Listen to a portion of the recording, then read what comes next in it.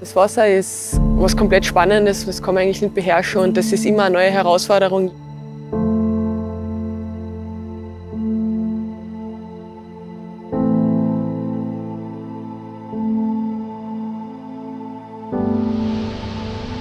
Das Wasser hat einfach eine Magie und äh, wenn es bewegt und auch noch ist und man, man die Energie vom Wasser nutzt, äh, das ist einfach ein unglaubliches Lebensgefühl.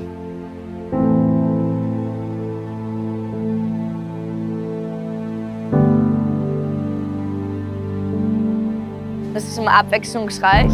Man hat immer neue Herausforderungen. Und im Sommer ist es auch eine Erfrischung und es macht halt Spaß.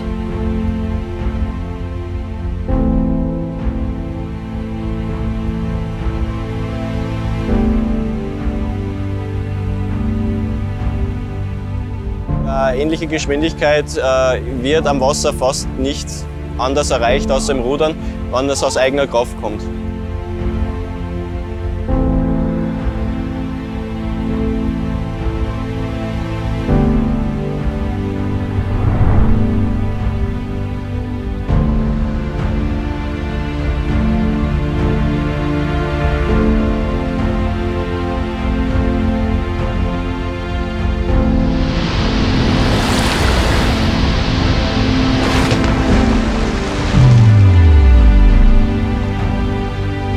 Es ist eine unglaublich dynamische Sportart, das ist immer was anderes. Man erlebt bei jeder Trainingseinheit was Neues und äh, das macht den Reiz irgendwie aus.